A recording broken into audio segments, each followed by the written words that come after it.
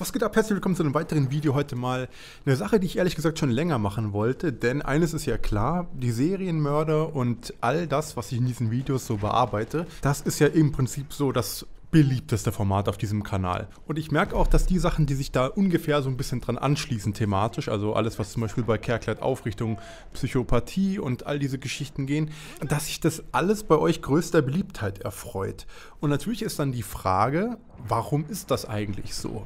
Das ist ja nicht nur hier auf diesen Kanal bezogen, sondern das sieht man eben auch so, ja, einfach allgemein. Dass Mord, Totschlag, Psychopathie, Serienmörder und alles, was dann an Taten und ja, Informationen zu diesen Taten dann so durchs Internet, aber auch in Serien und Filmen so, ja, einfach durch den Äther geistert, dass das einfach sehr, sehr viel Faszination beim Publikum ja, auslöst und dass die Leute da sich wirklich kaum satt dran sehen können. Ich bekomme von euch relativ häufig irgendwelche Nachrichten wie, ja, wann kommt denn wieder ein Serienkiller-Video? Ich habe jetzt die ganze Playlist fünfmal durch. Ich habe das, das Drei-Stunden-Video jetzt insgesamt dreimal geschaut und so weiter und so fort. Ja, also das übt wirklich eine große Faszination auf euch aus. Und ich habe mir schon vor längerem mal gedacht, eigentlich müsste man mal kurz so ein Video machen, das einfach so ein bisschen aufgreift, warum das eigentlich so ist.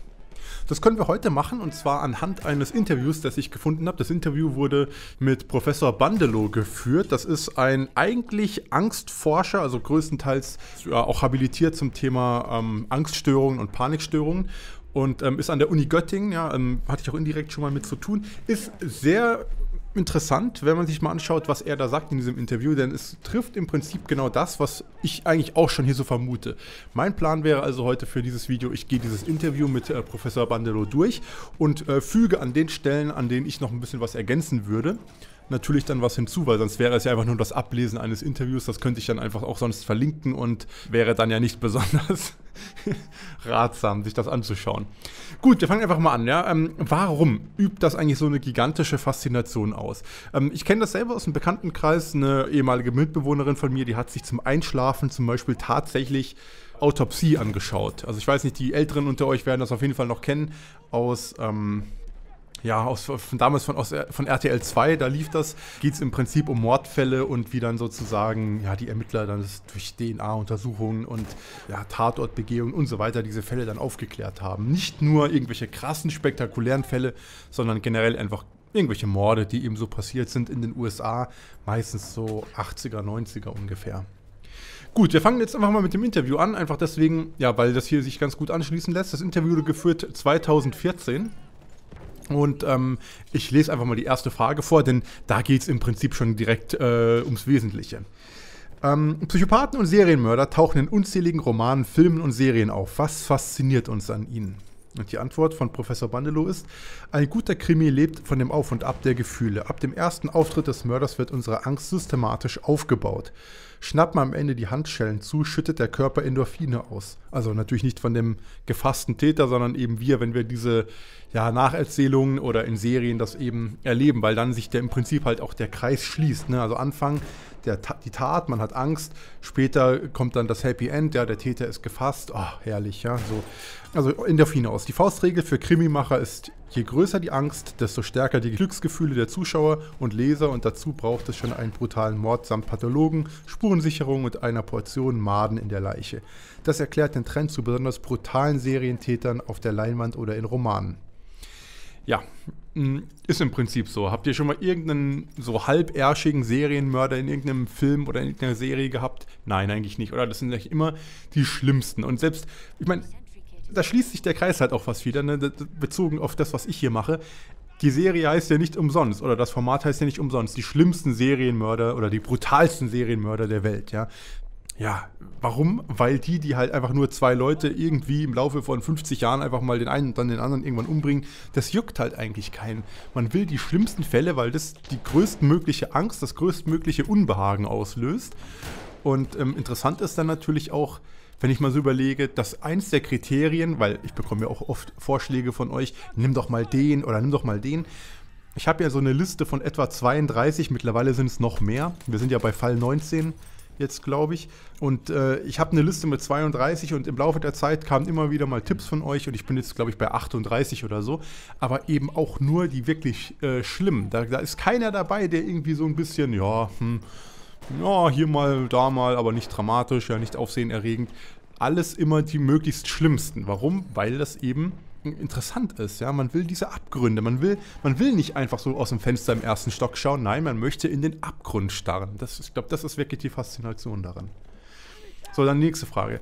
Gibt es in den Biografien von Serientätern Parallelen? Das könnte ich auch beantworten. Natürlich gibt es die. Also das seht ihr alleine, wenn ihr schon ein paar Fälle äh, von meiner Serienkiller-Reihe seht. Also es, es, gibt eigentlich sehr viele Parallelen. Wir gucken jetzt erstmal, was er hier antwortet, ja, und dann werde ich das vielleicht noch ergänzen, wobei ich mir jetzt nicht anmaße, hier mehr zu wissen, aber rein von dem, was wir eben so gesehen haben, hier, also ich gehe mal davon aus, dass ihr die alle gesehen habt, kann man natürlich was ergänzen. Also seine Antwort ist, ja, die gibt es zu der Entwicklung von antisozialen Persönlichkeiten, also solchen Menschen, die gesellschaftliche Normen missachten, gibt es zahlreiche Untersuchungen. 60 Prozent macht dabei wohl die genetische genetische Vererbung aus, 40% beeinflussen Umweltfaktoren. Also Erziehung zum Beispiel. Wenn schon die Mutter antisoziale Tendenzen zeigt, ist das häusliche Umfeld auch gleichzeitig nicht das Beste. Es gibt aber Serientäter, die in einem geordneten Elternhaus aufgewachsen sind, wie zum Beispiel Jeffrey Dahmer, ein amerikanischer Serienmörder der 80er und 90er Jahre. Seine Eltern haben sich zwar scheiden lassen, aber da war er bereits volljährig und hatte schon mehrere Morde begangen. Ich würde ehrlich gesagt noch ein paar andere Sachen ergänzen. Ich meine, er hat jetzt Jeffrey Dahmer hier so als Beispiel aufgeführt. Ähm, ist natürlich ein gutes Beispiel, weil es eben genau das illustriert. Ja, ich meine, er geht ja hier auf diese auf diese genetische äh, Komponente und eben, also eigentlich sagt man ja, es, sind, es ist immer ein Zusammenspiel aus biopsychosozialen Faktoren. Ja, also biologisch, genetisch eben, ne, was halt eben vererbt wird, dann eben wie du aufwächst und dann eben andere Dinge, die zum Beispiel äh, ja, sich einfach im Leben ereignen, Schicksalsschläge und so weiter. Bei Jeffrey Dahmer war es ja auch so, dass er homosexuell war, dass das erhebliche Probleme äh, zur damaligen Zeit für ihn bedeutet hat und andere Sachen, ja. Ähm, dann generell einfach wie so ein Fetisch äh, quasi für ihn entsteht. Also man darf nicht vergessen, dass es im Grunde so ist, ähm, dass Leute, die, also Täter, die ähm, Serienmorde begehen, halt oft sehr oder sehr oft auch Sexualmörder sind. Und äh, wenn dieses Morden halt so einen bestimmten sexuellen Kick hat, dann ist das halt also noch prädestinierter, um dann komplett zu eskalieren, weil ähm, jeder, der schon mal Geschlechtsverkehr hat, weiß, wie das läuft. Ja, also nicht Richtung Mord, aber ihr wisst, was ich meine, dass halt da Hemmungslosigkeit und Kontrollverlust gewissermaßen mit zum, zum, zum Ding gehört. Ja, also man kann natürlich auch mechanisch vor sich hin machen und dann ist irgendwann gut, aber das hat ja nichts mit Qualität zu tun. Ja? Ich meine, da, da sage ich euch nichts Neues, hoffe ich. Ähm, ja, das ist also soweit eben das Ding. Ja, gute Antwort auf jeden Fall, wenn man jetzt halt diesen Unterschied zwischen ähm, genetischen Faktoren und ähm, den Lebensereignissen oder der Erziehung zum Beispiel oder den sozialen Faktoren halt irgendwie herausstellen will. Man hätte das ein bisschen ausführen können, aber gut, das ist halt natürlich ein verkürztes Interview.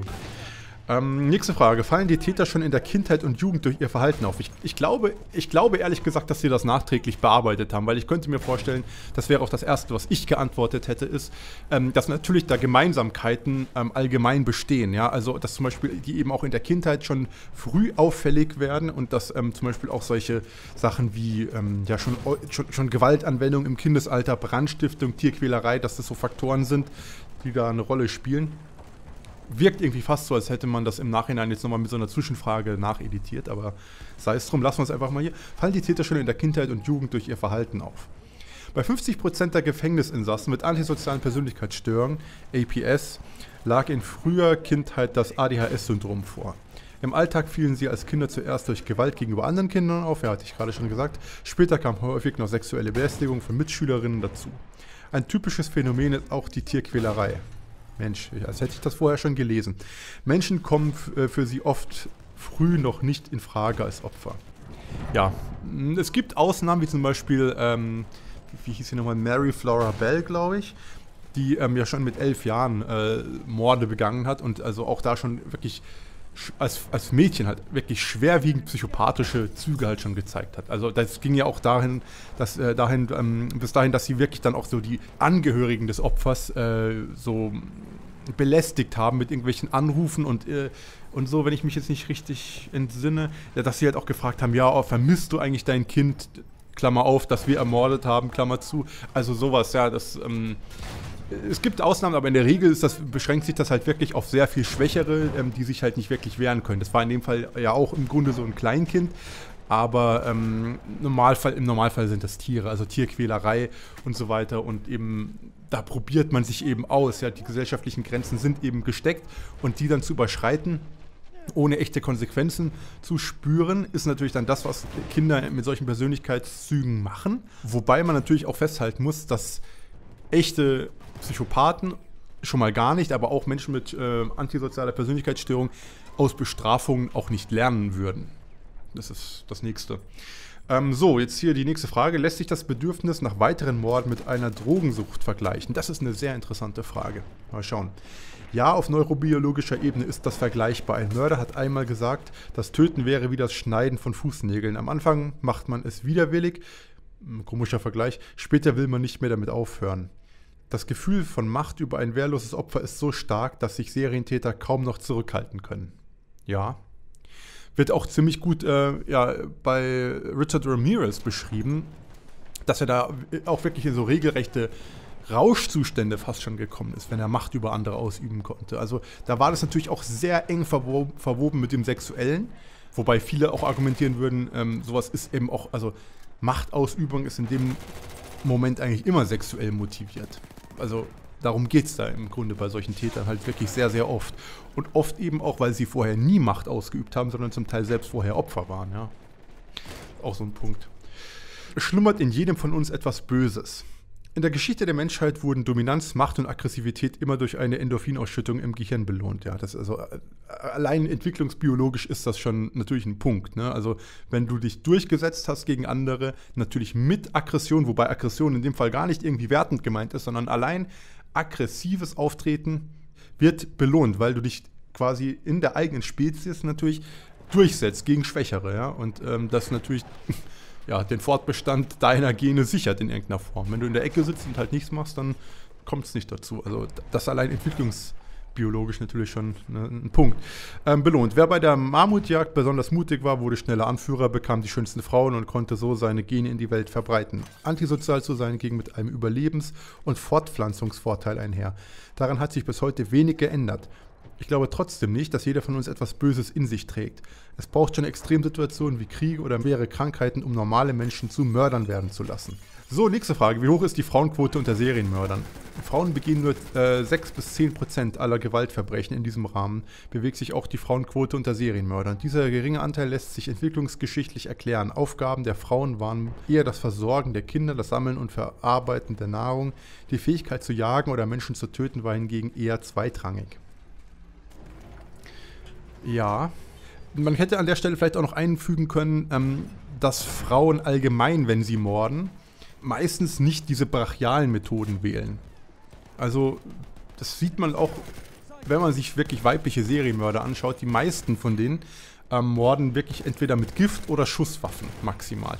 Eileen Warner zum Beispiel, wobei ich glaube, die hat auch andere Methoden gehabt. Also es war eh so ein desorganisierter Stil sowieso, also auch in der Wahl der Methoden und dem Modus operandi. Aber ähm, so dieses Ding, jemanden erdrosseln, jemanden erstechen, alles, wo du so wirklich nah am Mann bist, sage ich jetzt einfach mal, das ist ähm, in der Regel eher eine Vorgehensweise, die man bei, bei männlichen Serienmördern oder bei männlichen Mördern allgemein findet. Frauen machen das eben, wie gesagt, auf andere Art und Weise.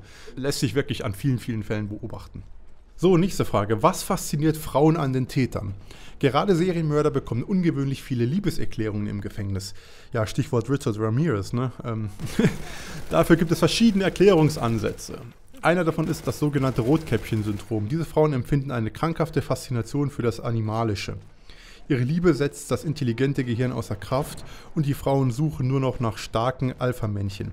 Eine weitere Erklärung ist das Amiga-Syndrom. In Klammer, aber meiner ist ganz anders. Die grausamen Taten des Mörders schreiben die Frauen dabei unglückseligen Zuständen zu. Also ist im Prinzip eine Attributionsgeschichte. Ja, also warum tut jemand was? Ach, der hat ja eine, eine, eine äh, ja, schwere Kindheit gehabt. Ach, der ist aber eigentlich gar nicht wirklich so. Das kennt man auch aus anderen Kontexten. Die grausamen Taten des Mörders schreiben die Frauen dabei unglückseligen Zuständen zu oder Umständen zu. Liebe oder Glaube könnten ihn retten und aus ihm wieder ein rechtschaffendes Wesen machen, so ihre Überzeugung.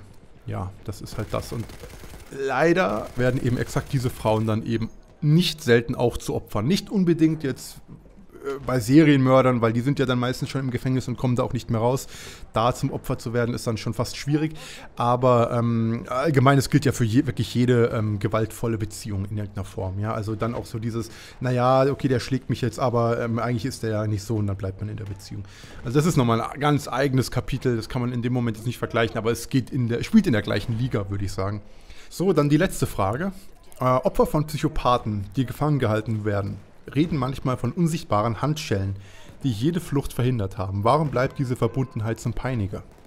Also ich gehe mal davon aus, dass da jetzt eher sowas Richtung Stockholm-Syndrom und sowas wie, ähm, naja, die Beziehung zum Beispiel zwischen Natascha Kampusch und ihrem, ähm, ja, ihrem Vergewaltiger, äh, dass sowas jetzt beschrieben wird, ähm, kann man ja auch als psychopathisch eigentlich beschreiben, was da äh, ablief von seiner Seite aus. Ähm, wir reden hier nicht von Serienmördern, weil da gibt es ja in dem Zusammenhang nicht dieses, dieses permanente ähm, Zusammenleben oder sowas. Das sind ja Leute, die da hinkommen, einen Mord begehen oder vielleicht so eine Geiselsituation haben von, von ein paar Stunden, aber im Endeffekt reden wir hier von einem anderen Punkt, ja, ist ja klar. Also Antwort, die Opfer leiden unter den ständigen Quälereien des Psychopathen. Diese tägliche Angst, ja, das ist das, was ich meinte, äh, um das eigene Leben sorgt für eine drastische Verschiebung der Wahrnehmung. Es entstehen starke Bindungsgefühle zum Täter, vergleichbar mit dem Verhältnis zwischen Säugling und Mutter. Auch ein Baby ist wütend, wenn die Mutter davongeht. Das Baby kann ja schließlich nicht wissen, dass sie nur die Milchflasche erwärmen will.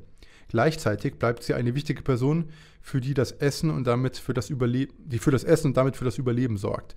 Die Todesangst des Opfers macht auch den Täter zu einem Versorger, der ihm Essen bringt. Einfach ausgedrückt lautet die Strategie der Opfer, Quälereien kann man überleben, aber Hungertod nicht.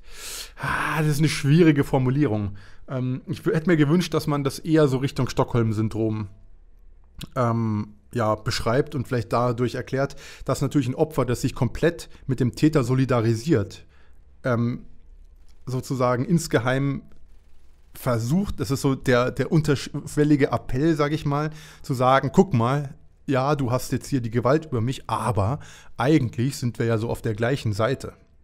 So, du brauchst mir gar nichts tun, weil im Zweifel helfe ich dir sowieso. Das ist einfach eine Überlebensstrategie dann für die Opfer in dem Moment. Das ist auch mit einer der Gründe, warum ja wirklich dann in solchen Extremsituationen sich die Wahrnehmung halt, wie hier eben auch steht, verschiebt. Also dass man wirklich sagt, die Person, die mir hier am gefährlichsten wird, ist eigentlich mein Verbündeter. Und zwar deswegen, weil man seine Verbündete eben nicht angreift oder, oder im Zweifelsfall tötet, sondern auf den Verbündeten baut man. Und wenn der merkt, dass ich mit ihm verbunden bin, dann tut er mir auch nichts. Oder weniger. Oder dann komme ich hier vielleicht noch lebend raus. Also das wird dann relativ basal, was so dieses, diese Überlebensgeschichten angeht lässt sich natürlich jetzt nicht auf andere Situationen übertragen. Ich, ich bin mir nicht sicher, ob das auch wirklich bei einem Serienmörder so wäre. Ähm, wie gesagt, da muss schon eher so eine Art Geiselsituation oder ähm, langanhaltende, langanhaltendes Zusammenleben sozusagen zwischen diesen Personen stattfinden. Und ähm, was ich mir auch vorstellen könnte, ich weiß nicht, ob ihr das kennt, das Konzept der gelernten Hilflosigkeit ähm, ist eben, wenn man wirklich merkt, man kann halt nichts ausrichten. Und dann lässt man Dinge einfach komplett über sich ergehen. Also man versteht irgendwie mehr oder weniger automatisch, dass man keinen Einfluss auf die Situation oder auf diese Person hat, die die Situation steuert und ergibt sich dann sozusagen. Ja, also das ist, das ist wohl eher der Punkt, der, der hier vielleicht mehr Sinn macht, das so zu beschreiben. Gut, ja, ich hoffe, das hat euch jetzt hier ein bisschen so die Augen geöffnet. Also es, wurden, es wurde sogar ein bisschen mehr in diesem Interview beantwortet, als wir eigentlich ursprünglich so als Ausgangsthema hatten. Relativ interessant finde ich hier zum Beispiel, dass Professor Bandelow ja eigentlich so von beiden Seiten kommt. Also ursprünglich ist er ja Angstforscher, beschäftigt sich aber gleichzeitig mit Psychopathie. Das sind natürlich genau die beiden Punkte, die von Opfer- und Täterseite so in dem Moment aufeinander ähm, prallen. Ähm, deswegen auch die Expertise und deswegen auch der Punkt, dass ich dieses Interview hier mit reingenommen habe in das Video. Falls euch das irgendwie interessiert, könnt ihr das selber nochmal an der Stelle durchlesen. Ich verlinke das im Top-Kommentar. Und ähm, genau, das soll es an der Stelle gewesen sein. Dankeschön fürs Zuschauen. Wenn ihr noch irgendwelche Fragen habt, schreibt ihr gerne in die Kommentare. Ich beantworte das dann entsprechend. Und dann sehen wir uns. Haut rein.